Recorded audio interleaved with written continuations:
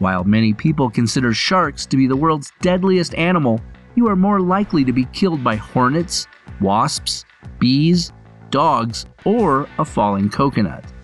A shark attack most often occurs when a shark mistakes a person for a seal or other animal.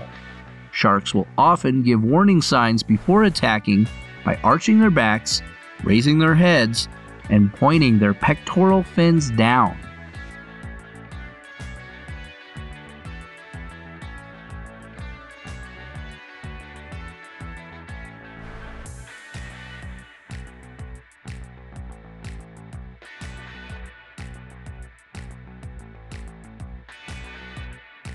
Whale sharks, which can reach a maximum length of 59 feet and weigh more than 40,000 pounds, claim the title of largest shark species and are also the largest species of fish in the world. The largest and strongest known predatory fish in the sea, the great white shark, can grow up to 30 feet long and is the only fish that lifts its head out of the water as if to investigate surface objects. Its jaw is six times stronger than a wolf's and has about two thirds the biting strength of a Tyrannosaurus rex's jaw. The smallest shark is thought to be the dwarf lantern shark, which is about 6 to 8 inches long.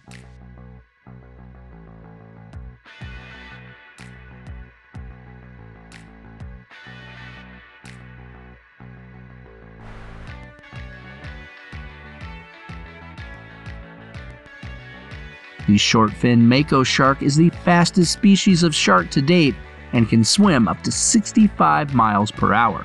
I'm sure I don't need to point out that any shark will outswim you, but knowing there's at least one that can reach a speed limit for cars is very impressive.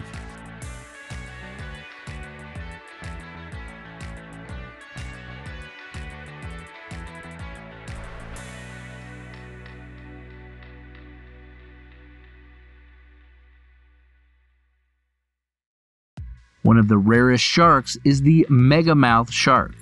Fewer than 100 specimens of the beast have ever been seen. It was first discovered in 1976 when struck by and tangled in the anchor of a Navy ship off Hawaii. The animal can grow up to 15 feet long and is a filter feeder, siphoning plankton from the water.